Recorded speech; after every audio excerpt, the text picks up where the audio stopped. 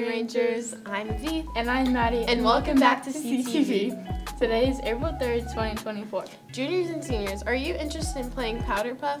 There will be an interest meeting today in Coach White's room, 2120 after school at 3 p.m.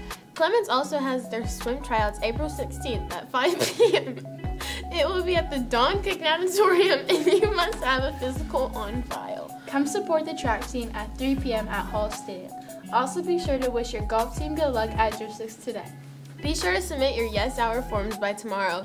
Any day after tomorrow, April 4th, it may not be processed.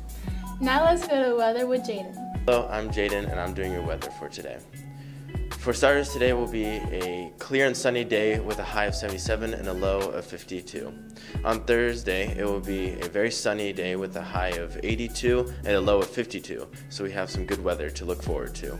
That's all for today. As always, have a good day, and that was your Sugar Land weather. Thanks, Jaden. Rangers, right under the pizza corner today, they'll be selling Domino's at all lunches. Remember, one for $3, two for 5 and 15 for the whole box.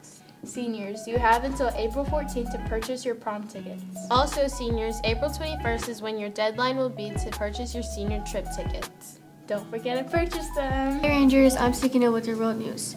The Washington Post states more than 80,000 women typically get abortions in Florida every year, accounting for approximately 1 in 12 abortions in the country.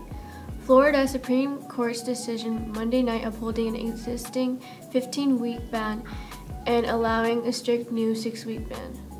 For some wildlife news, according to NPR News, U.S. Fish and Wildlife Services proposes to kill roughly a half a million barred owls to protect spotted owls.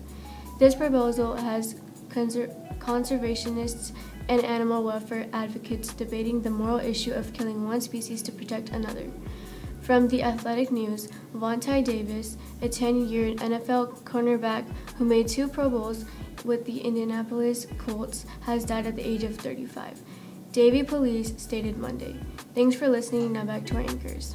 That's all we have for you today, Rangers. I'm Maddie. And I'm V. And have, have a, wonderful, wonderful Wednesday, Rangers. Bye. Bye.